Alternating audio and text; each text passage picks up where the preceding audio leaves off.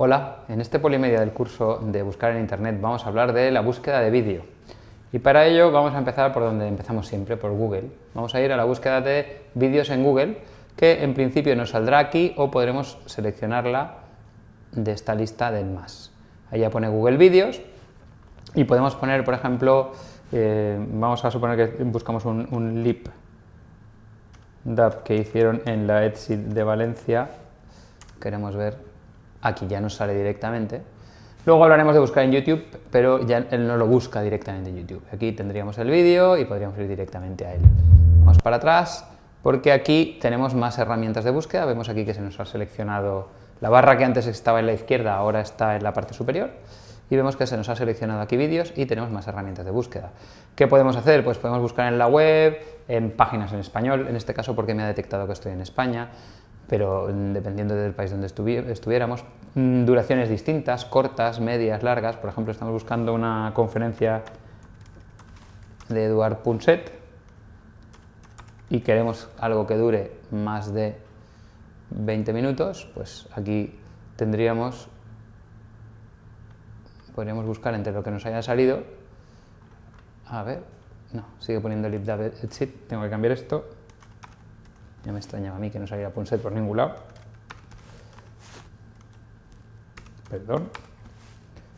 Ya está. Aquí las tenemos. Y vemos que el, filtro está, está, activo, o sea, está, sigue manteniéndose. Habría que borrarlo aquí. También podemos ver si estamos viendo noticias, por ejemplo, queremos saber noticias de algo, yo que sé, de una inundación, por ejemplo, y mm, al buscar nos salen en, noticias del año anterior, pues podemos aquí ver última hora, últimas 24 horas o última semana eh, o, el último año. Por ejemplo, si quisiéramos buscar un vídeo que se llama Socialnomics Social Media Revolution, Revolution, este por ejemplo, el último, podríamos decir que, queríamos, que queremos los vídeos, hay que darle aquí que se quita el filtro, eh, del último año, por ejemplo, y luego comprobar esto es una cosa importante porque este, por ejemplo, podría ser un antiguo que ha subido alguien después. Pero bueno, esto es un ejemplo como otro cualquiera. También podemos ver de cualquier calidad o solo de alta calidad. Podemos ver los, los vídeos con subtítulos, pero aquí tenemos un problema que es eh, ahí solo nos va a sacar aquellos vídeos que tengan subtítulos externos al vídeo, de los que se puede subir, por ejemplo, en YouTube. Si alguien ha cogido el vídeo y lo ha subtitulado poniendo el subtítulo dentro, eh, pues no, no, nos lo identificará. Lo de buscar vídeos con subtítulos muchas veces es muy interesante a la hora de buscar vídeos, porque mucha gente hay en Internet eh, trabajando y puede que un vídeo en inglés o en un idioma que no entendamos nos interese entenderlo y podemos buscarle aquí poniendo o con subtítulos o aquí directamente, como ahora veremos, poniendo subtítulos en la barra de búsqueda.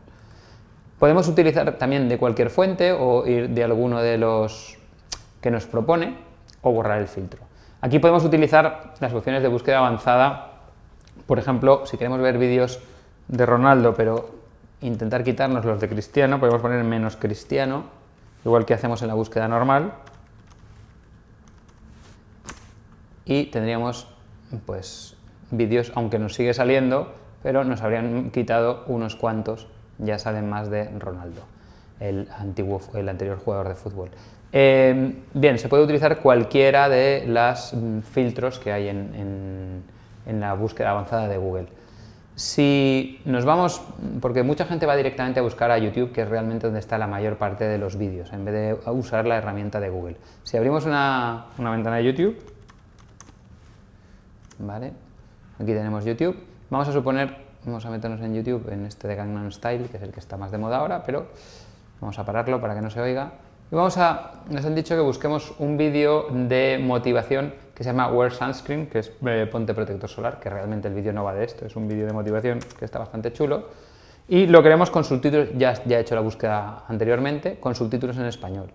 Y entonces aquí tenemos varias opciones, podemos buscar la que más nos guste, por ejemplo podemos poner esta, que como vemos, esto lleva ya los subtítulos incorporados dentro del vídeo, con lo cual esto con buscar con subtítulos cerrados de Google no nos lo encontraría. Y aquí podemos ver el vídeo en inglés con el subtítulo incorporado. También podemos cambiar la calidad. Aquí tenemos distintas calidades. Él en teoría va cambiando en función de nuestro ancho de banda, pero si tenemos ya claro cuál queremos verla, aquí solo llega hasta 360, pero puede llegar hasta HD, hasta 720, incluso 1080p.